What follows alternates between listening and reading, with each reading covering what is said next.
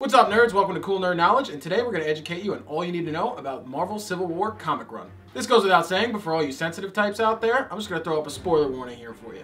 Marvel Civil War is based around the Superhuman Registration Act. This is a legislative act that requires all those with superpowers to register themselves to take full accountability for their actions. This stemmed from rampant collateral damage and deaths that happened during the events of all the Marvel comic runs. The biggest impact coming from the actions of the New Warriors, or lack thereof. The New Warriors, and stars of their own reality show, failed to capture a group of supervillains and put their willingness to boost ratings over the job at hand. As a result, a villain named Nitro uses explosive abilities to level several city blocks, at the center of which was an elementary school. The death toll was north of 600 innocent civilians, 60 of which was the student body of the unfortunately located elementary school.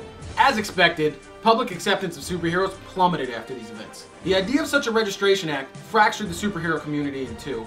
On one side, you have the Pro-Registration Act, helmed by Tony Stark. On the other end, you have the Anti-Registration Act, which was led by Captain America. Tony, backed by Mr. Fantastic and Henry Pym, felt that with such a huge shift in the political landscape, heroes should register themselves and at least receive proper training and governance to avoid any possible future mishaps like those of the New Warriors. Team Cap, backed by Falcon and Luke Cage, wanted superheroes' anonymity to remain intact to protect their everyday lives. Tensions between the two sides rose with the anti-registration group hunting down supervillains as normal and leaving them subdued for the authorities to find, with the pro-registration act hunting down and arresting any superheroes not willing to register. The first big victory between both sides came when Tony Stark convinced Spider-Man to reveal his secret identity and join sides with him. As a reward for his loyalty, Stark provides Parker with the iconic Iron Spider suit, which gives Spidey similar tech-based abilities as Iron Man. The hidden caveat to this generosity was the suit was used to study his abilities and come up with a failsafe in case Spider-Man decided to turn on Stark. Unbeknownst to the web slinger, Tony was in development of Project 42, a prison in the negative zone, which would hold anyone unwilling to register.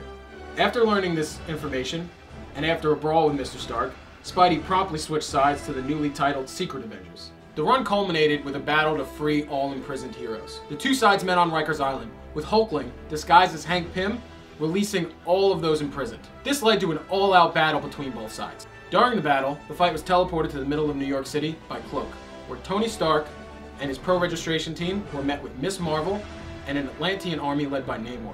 Amidst the battle, Tony Stark's armor was rendered useless by the Vision 2, leaving Cap an opportunity to land a war-ending strike. Before Cap had the chance to react, he was overpowered by several non-powered emergency service workers, which forced him to surrender and end the war, sending Cap to jail. On the day of his trial, he was assassinated by Crossbones, acting under the orders of the Red Skull. And there you have it. That's all you need to know about Marvel Civil War comic run. If you like what you saw here, don't forget to like, favorite, subscribe, and check out our other videos. Thanks for watching. Marvel Civil War is based around the superhuman registration. Stop moving around with the belt on. Sorry. It's like weirding me out. Batman. This stemmed from. I'm just looking at Devin, and it's fucking. What am I doing? You like. This stemmed from the rampant collateral. Damn it.